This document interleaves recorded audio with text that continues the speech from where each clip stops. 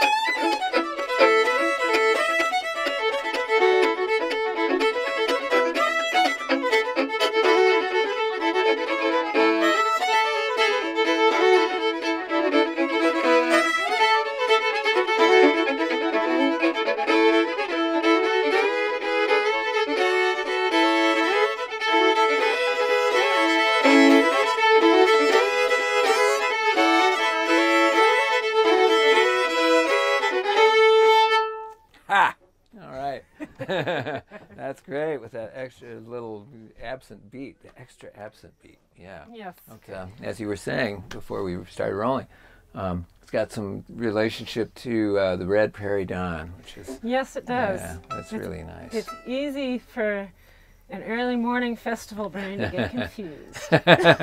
yes. All right. Wow. Well, so how long have you been working working out on that thing? And you, did you did you start like did you like your folks take you to a bluegrass festival and and everything changed for you, or was it uh, what happened? well, I started playing like a lot of people, very, very young, classical training um, in San Francisco. Um, but my, my dad's a wonderful guitar, mandolin, occasional cello, viola player, self taught musician who loves jazz and loves traditional American music. And um, so I grew up with this classical music on the one hand, and on the other hand, being forced to play fiddle tunes. oh, bummer. Against my will. oh, my dad wants me to play again. Oh no. Um, so I got the language that way, but I didn't develop. Well, I loved I loved listening to it, and somehow I didn't put two and two together that playing that music was something you could actually do with your life. I had always had in mind to have a career in music, but um, Playing that stuff. you know yeah. that that stuff you know i'd play it for fun like instead of practicing my concertos. But um, i didn't really figure out until after after college um, when i met some bluegrass musicians and discovered that they were doing out in the world making a living doing something that i could do. Um, Very cool.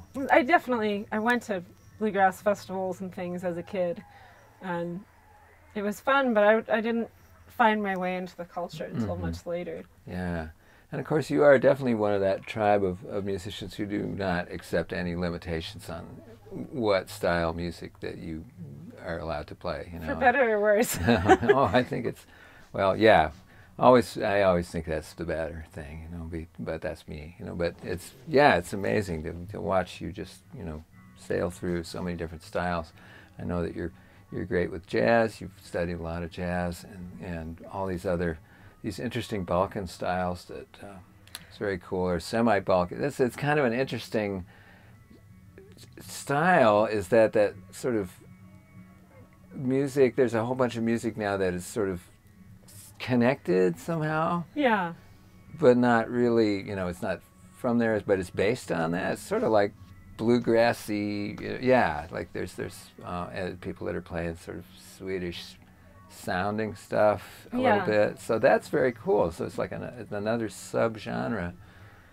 Uh, Yeah. Can you talk, talk talk about that a little bit? That's, that, that's? Sure. Um, well, there's. I mean, Balkan is such a broad term because sort of Because it goes- southern central Europe is you know it's a big area with a lot of Yeah. different cultural influences, and um, so my my primary interest has actually been in the Romanian music, um, and the Romanian music that comes from just outside Bucharest.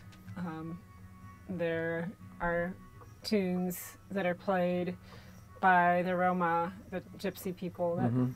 Live there, and bands that you've probably heard of, like Taraf de Haïdouks, um, uh, play these tunes which were traditional Romanian tunes that they've sort of adopted as their own. They've, sort, of, they, they're the, the, owners of this style of music that began as Yeah. traditional folk music from the non-Roma, non-Gypsy people of this region.